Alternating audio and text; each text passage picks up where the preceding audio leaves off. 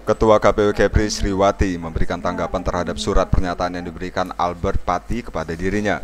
Dalam isi surat tersebut, Albert Pati menyatakan bahwa dirinya tidak pernah memberikan berkas pencalonan atau ingin menjadi bacalek di tahun politik yang akan mendatang.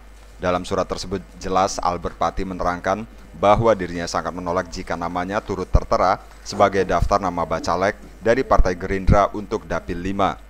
Melihat surat dan video pernyataan Albert Pati yang menyatakan dirinya tidak pernah melengkapi data atau syarat pencalekan, Ketua KPU Sriwati langsung memberikan tanggapan bahwa tugas KPU hanya melaksanakan semua tahapan sesuai dengan peraturan dari pusat dan KPU.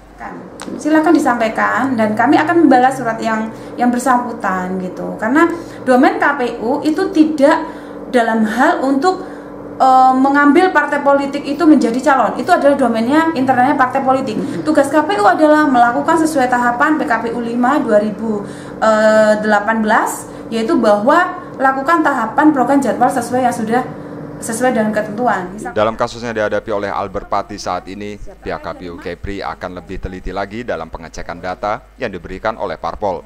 Pada tanggal 22 Juli, KPU Kepri akan memberikan keputusan hasil verifikasinya. Tim Liputan Diamond TV melaporkan dari Tanjung Pinang, Kepulauan Riau.